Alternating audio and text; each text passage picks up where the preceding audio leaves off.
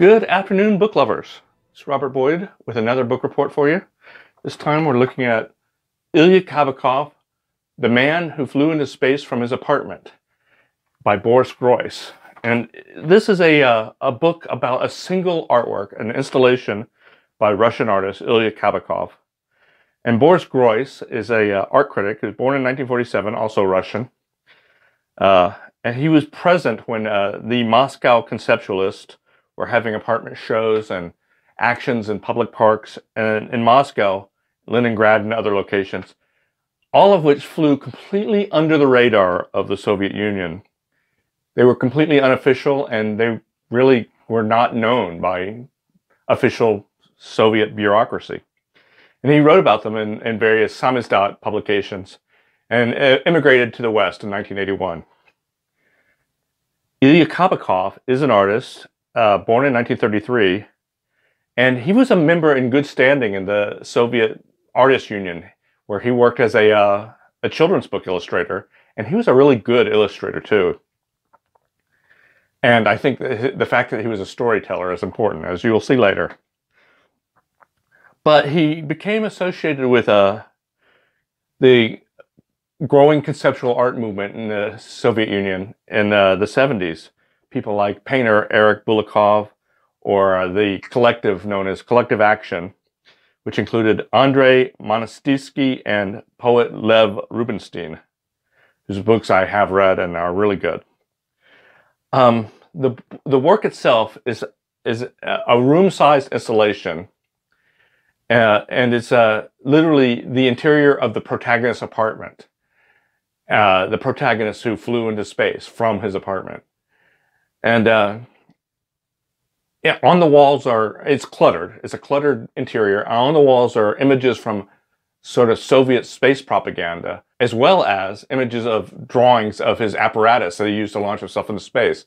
His apparatus is remarkably simple. It's a giant slingshot. He slingshot himself into space. And if you look up in the uh, installation, there's a hole in the ceiling it's not clear when you're looking at it whether the, he he he sawed a hole in the ceiling or whether he knocked the hole in the ceiling when he slingshot himself through through it into space. And that lack of clarity about what actually happened is part of uh, part of the story here.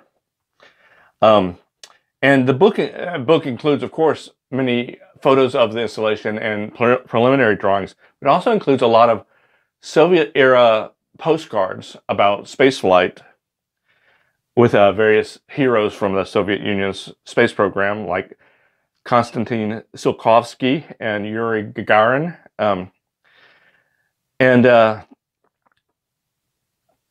presumably, uh, the hero of this work, the man who flew into space, was uh, inspired by such propaganda and you can't go into the room. You can only look into it. So it's not of, it doesn't completely envelop you like, uh, say, Kabakov's gigantic installation at Marfa does.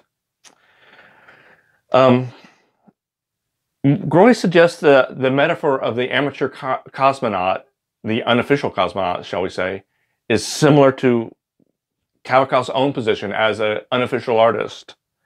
He writes, all the same, the hero of this installation did not appropriate and channel this energy in the same way a proper cosmonaut would have done.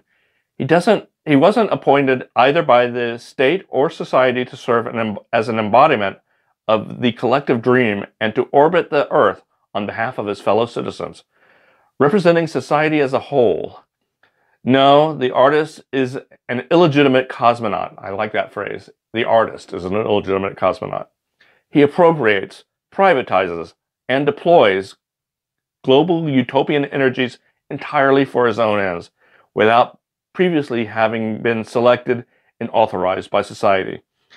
So the room left behind by Kabakov's hero looks more like a crime scene than a laboratory where genius has been at work. And I think that idea that looks like a crime scene is, is a good one because when you see it, you don't know exactly what happened. You can you can deduce that he used a slingshot to sling himself into space, but like I say, you can't tell whether he sawed a hole in the ceiling or if he uh, if he broke the ceiling.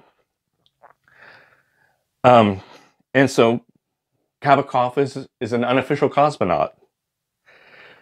Bor- Groys goes further than just that metaphor, even though I think that metaphor is a really good one, to suggest the cosmic origins of the protagonist's flight. There was a philosophical movement in uh, Russia starting in the 19th century called Cosmism.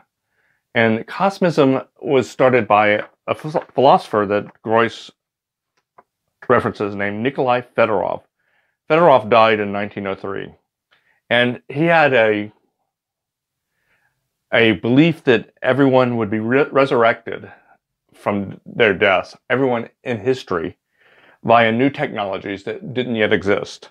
So it was a very positive, forward-looking uh, uh, philosophy, and uh, he wasn't the only one who who believed this, and he was a highly influential philosopher.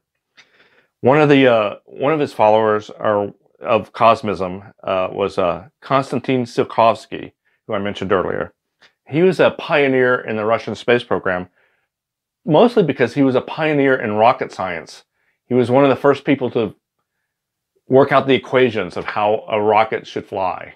Um, but he also believed in immortality, and uh, he uh, worked on the Russian on Russian rockets. I think to the 50s or so, by when he died. But he's definitely a pioneer and someone who would have influenced the man who flew into space, although the man who flew into space did not use rockets. So Groys suggests that he has these utopian ideas believed by Fedorov and Tsiolkovsky, but they, uh, that Kabakov distanced himself from them.